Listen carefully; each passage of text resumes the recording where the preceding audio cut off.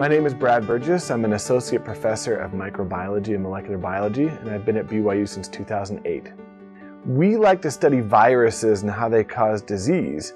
And part of the challenge of studying viruses is that they tend to be very specific to only certain types of hosts. In other words, you know, we like to study HIV in our lab. HIV can only infect certain types of primates.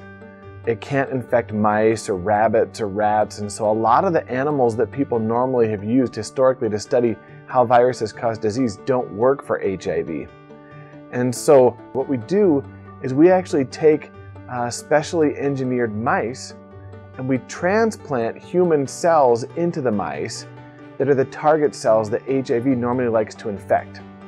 One of the projects that we're working on in our lab is uh, developing an enzyme which is supposed to be able to find HIV when it's pasted its DNA into the host cell, and it can find that one tiny sequence of DNA out of billions of DNA sequences in the cell. But it will find it and it will actually cut that HIV DNA and either one, disable the HIV DNA so the virus can never wake up and, and reproduce itself again, or, the, uh, or possibly even removing the HIV DNA from the human DNA.